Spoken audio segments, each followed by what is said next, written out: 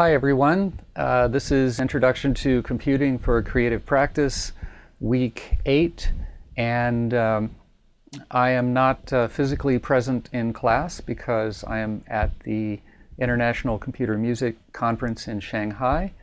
And so we're going to do things a little bit differently this week and next.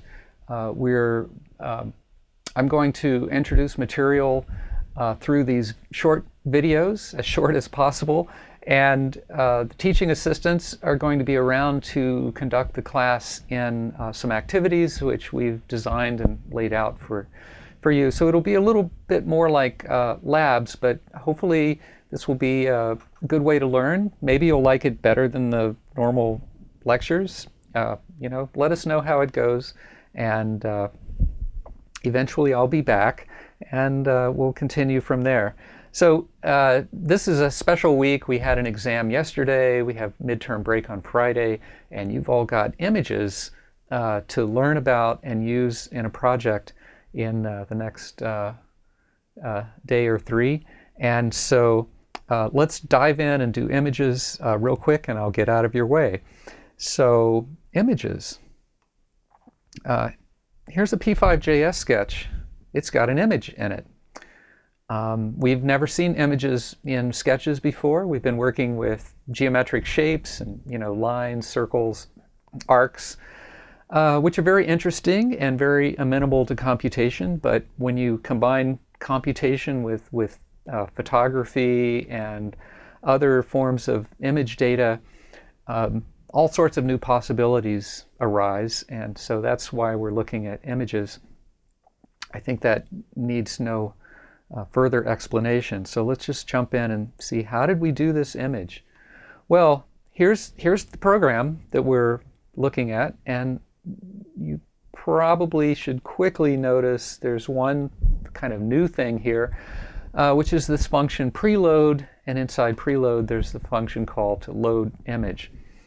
So the way preload works is uh, kind of like setup, you know, which gets called once by P5JS. It's a, a, special P5JS thing. And draw, which is another special P5JS thing that gets called repeatedly to update the canvas. Uh, this preload function, if you define it, runs before anything else and it's especially designed to load images. So why are images special? Well, um, images can be located uh, out on the web somewhere, so they might take a long time to load the image. Um, images are certainly loaded from outside your sketch. You know, there's no image in the sketch, right? So it's got to come from somewhere, and images can be big, and so it's kind of a long, slow operation. And so the, the strategy is we're going to load these images into variables so they're readily accessible and uh, quick to operate on. Uh, so we're going to load into these variables first before we let the program run. And then we've got everything uh, ready to go locally and the program can run you know, at animation speeds. The uh, preload also allows us to actually load images in, in parallel. So you might, you might have many images to load. And so by doing it inside preload, you can, you can start accessing a whole bunch of websites instead of loading things just one at a time. And, but you want to make sure that those loads actually complete before starting to run your program. So that's what preload does. It, it makes sure that um, all the loading is uh, done, finished, over with, and we're ready to roll before we even call setup. To load an image, you just give the name of the image uh, as a URL. And so I'm going to look at the way I set up my files here. Um, I have a directory that contains our standard index.html. It's got sketch.js that we were just looking at. And it's got an image, snailtrail.jpg. This name comes from uh, whoever it was that posted this image on Imgur, which is where I found it, uh, used the name snailtrail. So this is the best attribution I can give uh, for that image. Okay, so we give the file name or the URL for the image, we load the image, and what gets returned from load image is a special value of type image. So we've seen types before. We've, we've considered numbers and strings and arrays are types, objects are types. And so here's a new, booleans are types. So here's a new type uh, called image. And, and since we have values of type image, we can just store those values into global variables like img. We could store them into local variables. We'll see that later. Uh, so, uh, so I've declared this global variable img to hold the image. There it is. And then when I want to draw the image, I use a new drawing function, you know, just like we've used functions like rect and ellipse. Well, now we have a new function called image. So the image function has five variables. The first one is the image itself that you want to draw. And the remaining ones are just like rect. It's the x, y, the upper left-hand corner, the width of the image, and the height of the image. In so for the width of the image, you if you want to display the sort of natural image size, uh, you can use this expression image.width. So that takes the image, remember dot means, uh, you can read that as apostrophe s. Uh, so the image's width, or the width of the image, is this expression. You can get the image height using dot height. Uh, but in this program, I've actually scaled by x and y. And I'll let you uh, either talk about or come back on your own and see exactly how I derive scale x and scale y. Um, but we're not going to go into detail on that right now. Uh, so going back to the image, you can see that we're scaling independently in the x and y dimensions. If I put the mouse at the bottom right-hand corner, that gives me scale factors of 1, and this is the natural image size, uh, which happens to be 540 by 540, which I also printed out with a, a text command. So that's how we get an image up. Uh, the next thing I want to talk about is uh, some restrictions on these images because the uh, um, images are uh, files and um, we get these files from web servers if using URLs, or we can load them from the local file system. And, and there are some restrictions. So in particular, if I try to run this program I just showed you on Chrome, and that's what we're doing here. So this is, this is Chrome. Uh, here's my same index.html program. And if I load this in Chrome, it says loading, and that's all I get. It doesn't work on Chrome. The reason for that is Chrome, when JavaScript tries to load data from someplace, Chrome is very picky about where that data comes from because Chrome does not want to allow uh, some vulnerabilities, some security vulnerabilities that come when you allow a script on one machine to access data on another machine or on another web server. And I, am going to kind of gloss over all the details there. Uh, uh, but this is something that we have to deal with. Um, so I'm going to go through the different ways that you can load images. Uh, first one, the one we just looked at, simple local image file access with Firefox. Here, you just have a, a file and you write load image from that file. And uh, in my example, I just put the file name. In this example, I put dot slash file name. Uh, dot slash is a kind of special notation. Dot means it, look in the current directory. Slash means uh, within that directory and then find this file. So it's very, this notation is very explicitly saying, don't go searching for this file name. I want it from the current directory, like right here. Um, and this, uh, so either way works on Firefox, but again, it fails on Chrome. So another thing you can do, and this is, I think, you know, just to keep things simple, this is uh, the, the simplest way to do things, um, is use imgur.com.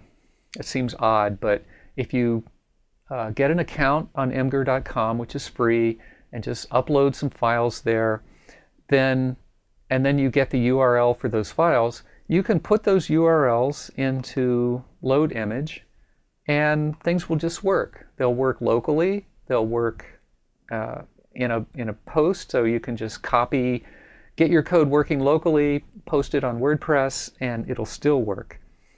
Uh, why is that? Uh, the uh, key is right here.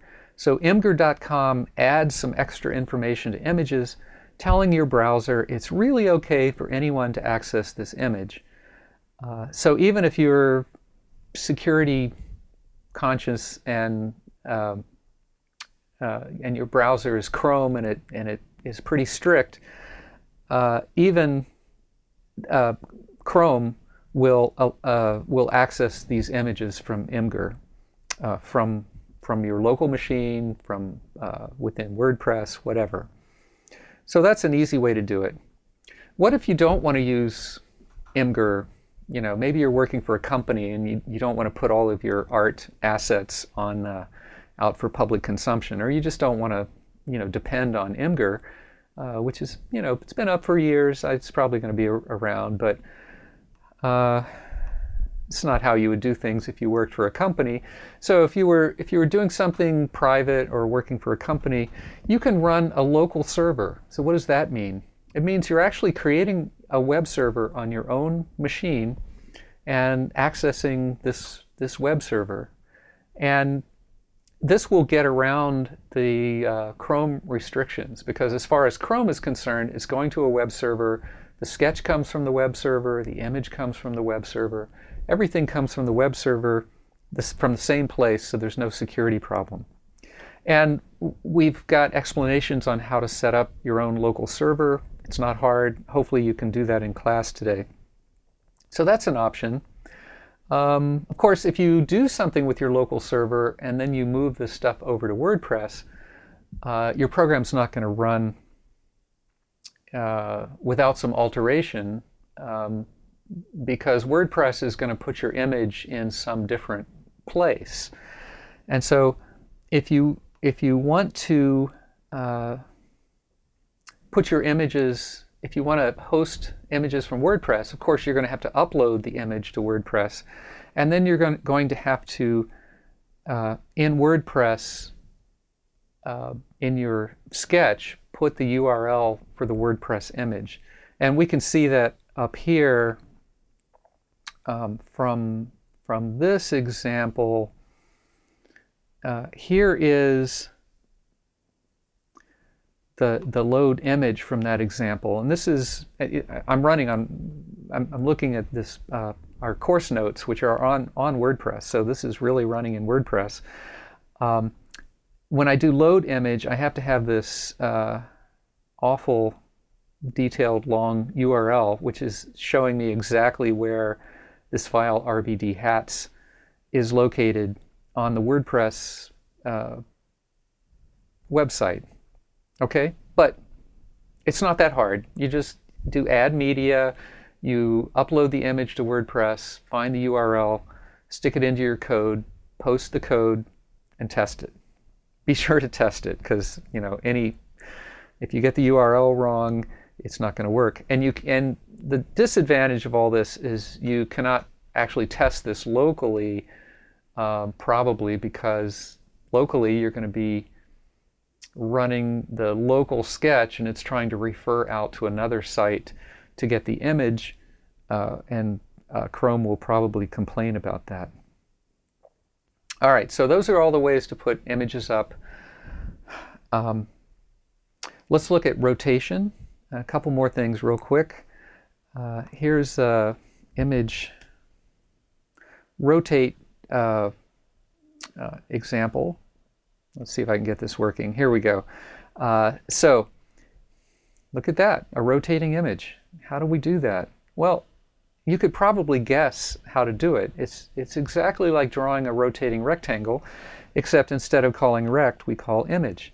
So that means we do push uh, to preserve the coordinate system. We temporarily alter the coordinate system with translate and rotate, as always. And then we call image, probably with uh, 0, 0 as x and y, because we've already translated x and y using translate. In this example, I have the rotation goes from 0 to 90 degrees as mouse Y changes from 0 to height. And I've got a scale factor, where is scale? Up here, it basically goes from 1 pixel to full width. Uh, sorry, it goes from uh, 1 over width to width, uh, I'm sorry, to 1. 1 over width is the smallest value, 1 is the maximum value. That's the scale factor that varies with x. And so we can see that here is, if, as I move x, I get uh, scaling from a pixel to full, full size. And as I vary y, I get uh, rotation from 0 degrees to 90 degrees. Next up, let's talk about uh, image clipping. So here's a little program. I'm, I'm showing the full image at one-third size, and as I move the mouse around, you can see down at the bottom left, I'm showing a, a magnified little sub-image. Pretty cool. How do we do that? Well, it's pretty simple. To get, what we do is we just get a sub-image and we show it. So how do we get a sub-image? uh, we take the image and write dot get. Uh, so this is finding the get function from the image and uh, we pass four parameters to get, which is the, the bounding rectangle of the subimage uh, relative to the coordinates of the image. So offset is xy uh, in this example, and it's a 100 by 100 subimage. This image.get does not display the image, it just um, clips out a little subimage and makes a new image. So now we assign that to a variable called smaller. And now we have two images. We have img, which was the full image, and we have smaller, which is some subimage. And so we use another image command down here to display smaller down at the lower left-hand corner and we magnify it from 100 100 to 180 by 180. Uh, so let's take another look at this real quick. So you can see the uh, this was originally a 100 by 100 image in the lower left. It's now displayed as 180 by 180 and the location in the image that I clip from is controlled by the mouse location. And finally, um, we're not going to do anything with this today, but I want to point out this uh, interesting example that shows how you can access pixels from an image. Uh, the, the key to that is you, you call image.get, but with only two parameters, x and y, and that gets a pixel, which is uh, uh, basically a, a, color. And so then we're going to set fill according to this color and call ellipse. So we're going to we're going to make an ellipse whose color is determined by a pixel in an image. Well, that's pretty cool because that's that's going to generate this uh, very pixelated image, and we can't really see anything yet. But if I let this run for long enough, and you can go go to it yourself, um, eventually we'll, we'll, get to see the underlying photograph, which is uh, an astronaut walking on the moon. So we can see some dark outer space and some gray uh, lunar landscape, and you'll see details later. So that's it uh, for today. Uh, good luck with images, and you can spend the rest of the class um, implementing some of these exercises and getting help from TAs. So thanks. I'll see you next week.